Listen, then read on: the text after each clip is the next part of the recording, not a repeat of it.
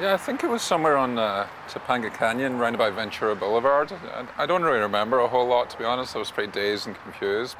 I remember bouncing down the street and coming to rest somewhere in the middle, and there was traffic going everywhere, you know. And I guess I was pretty happy this guy picked me up.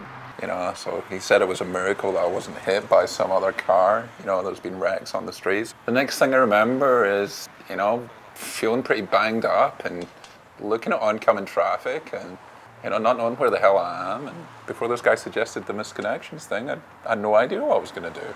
Well, you know, I just want some closure, you know. It's like one minute you're, you know, everyone's favorite toy, and the next thing you know, you're getting thrown from a moving car or accidentally dropped out of a moving car, or I don't know what the hell happened.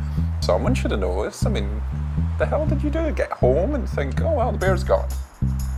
Move on. I guess I'm a little bit, you know, hurt.